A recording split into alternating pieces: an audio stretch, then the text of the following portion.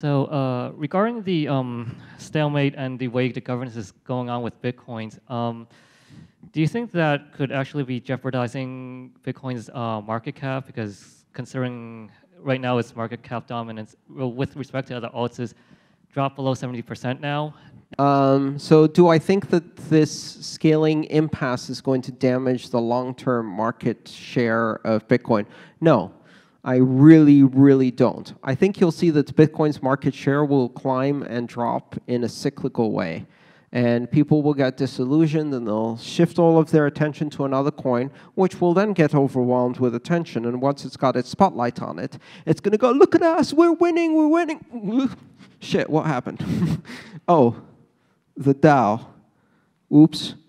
And, and then it all flows in the opposite direction. Because when the spotlight shifts, that's when you can't stumble, right? And right now, there's a lot of exuberance, but they're going to stumble. Maybe. If they manage an unbroken, non-stumbling record for the next five years, yes. But no one can do that. This is real software, real money, real competition. It's an adversarial system. Everyone stumbles. And so looking at Bitcoin and go, ha, they stumbled, um, doesn't really solve anything. I don't like this adversarial attitude between the currencies. I think they all benefit from proving different points in this giant ecosystem, this community of currencies, where we can test out ideas in an evolutionary environment where the forces of the market are informing trade-offs and design decisions that cause each one of these little species to specialize into one niche and maybe thrive and conquer that environment. Um, and, and that's beautiful. That's, uh, uh it is basically one of the first Darwinian innovation labs with real money that we get to experiment with, and all of it's good, right? Even the failed experiments teach us something. I don't think Bitcoin's market share loses because of that. I think it's just a cyclical phenomenon. But who knows? Maybe, maybe Bitcoin suffers in other ways. One thing I will tell you, being stuck in the status quo and being resistant to change is a differentiable feature. It makes a system that is extremely robust against takeover. It makes it very difficult to shut down, co-opt, corrupt, and take over the system its own damn developers can't change it. So how's an outsider going to attack it, right?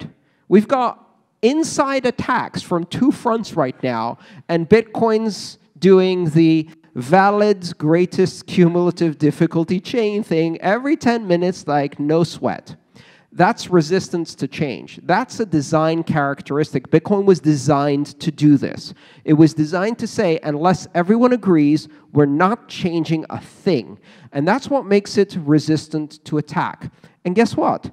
Attack is coming because this shit is getting more and more important to the world. And the more important it gets, the more interest it offends, and the more those interests are going to try to attack it in every way political, propaganda, economic, electrical, network, every way.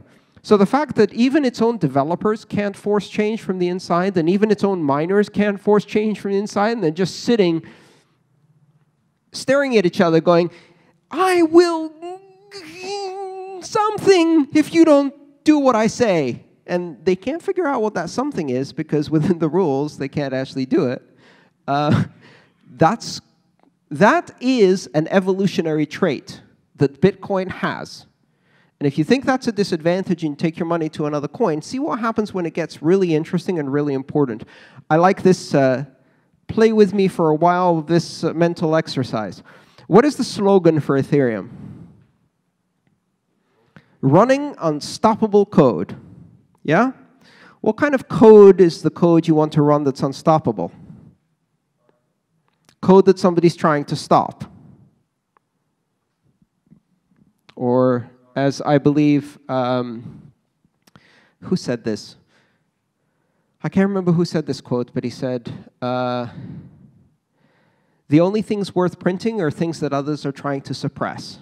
Everything else is advertising right? Some journalist or playwright or brilliant person. So the only code worth running as unstoppable code is code that someone's trying to stop. And that's a great feature until you put it in practice. So Bitcoin received this massive negative reputation hit from Silk Road because it was the money used on Silk Road. But Silk Road itself was running on Linux. What happens when it's running on Ethereum? And Ethereum is both the money and the platform. Unstoppable code.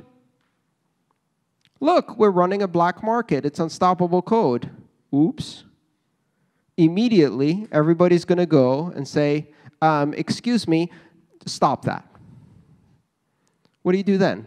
Hard fork and stop it? Or continue with unstoppable code? So now you've got a problem. If Ethereum actually fulfills its vision, it's eventually going to run some unstoppable code that someone wants to stop, and they're going to ask Ethereum developers to stop it, and then we'll see who's resilient or not, right?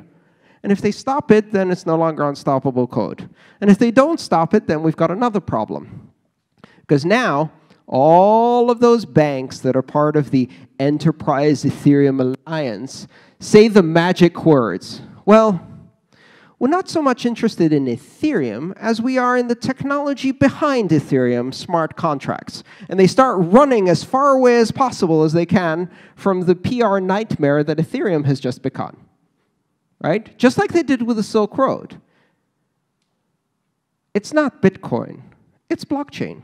And you go to conferences and they have the title, Blockchain Beyond Bitcoin. Really? Okay. Who here has done a blockchain transaction? Anybody here own any blockchain? Oh, really? It doesn't exist? Interesting.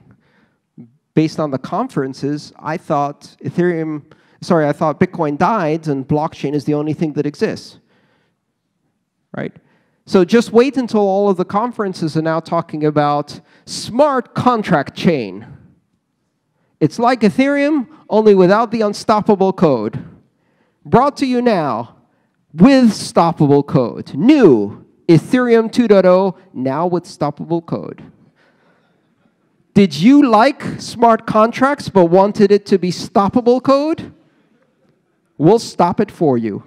In fact, we now have a committee-driven system where you can apply for stoppage, and they will apply an estoppel on the code.